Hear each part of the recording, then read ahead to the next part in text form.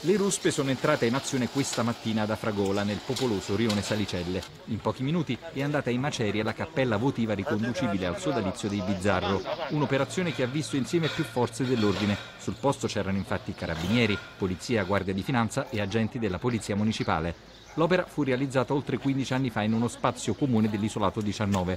La demolizione rientra nel programma avviato dalla prefettura di Napoli contro murales e altarini abusivi. E proprio a Prefettura e Forze dell'Ordine sono arrivati in giornata gli apprezzamenti del Viminale, che in una nota sottolinea che prosegue con determinazione l'operazione di rimozione dei manufatti abusivi nel napoletano per ripristinare la legalità e contrastare il degrado urbano.